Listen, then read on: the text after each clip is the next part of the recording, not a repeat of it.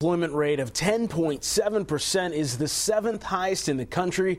Putting people back to work is a key campaign issue for the state's gubernatorial candidates.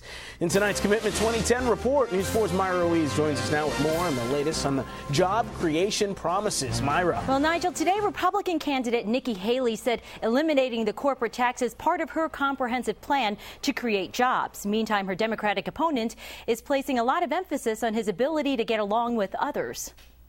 North American Rescue and Greer is a company that makes products designed to save lives for the military and emergency workers. The company president says things are going well. Even with the troop drawdown, our, we're seeing an increase in business.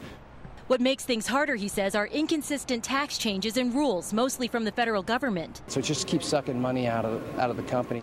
While touring the company, Nikki Haley explained what she'd do if elected governor to bring jobs to South Carolina.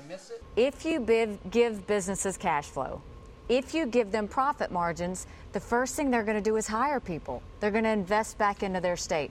Haley is calling for the elimination of the corporate income tax and cutting red tape, reforms to workers' comp and the tort system. She also wants to privatize community workforce centers. And then you've got those that are unemployed that are actually getting the help they need from an agency that's determined to make sure that that happens. Haley's Democratic rival Vincent Sheheen says he's also committed to creating new jobs. While no one from his campaign could get back to us with the specifics before news time, Sheheen has previously emphasized his ability to work with both Republicans and Democrats in the legislature. He agrees with Haley on at least one point. It is now time for less talk and more jobs in South Carolina. South Carolina's June unemployment rate actually dropped from 12% the month before. July's numbers are scheduled for release on August 20th. Carol?